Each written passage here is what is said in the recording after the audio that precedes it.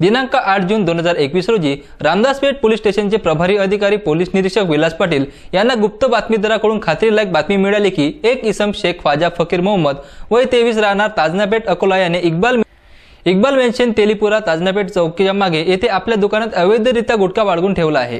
रामदास पेठ पोलिसांनी येथे धाड टाकली असता अवैधरित्या गुटखा व सुगंधित तंबाखू बाळगून ठेवलेला मिळून आला.